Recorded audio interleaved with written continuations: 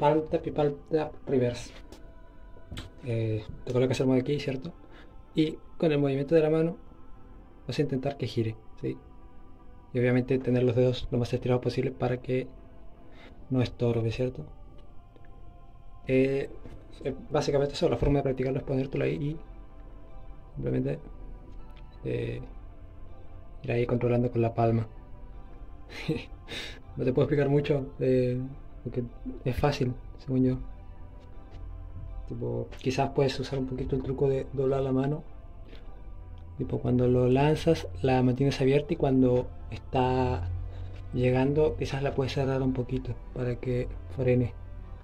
¿Cierto? Porque si te fijas es como que aquí frena de golpe y es porque me está chocando con esta parte de la mano. No se ve mucho, pero...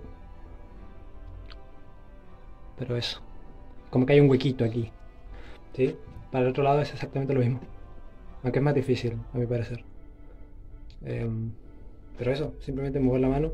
No uses el dedo. Aunque bueno, eso sería otro truco, ¿cierto?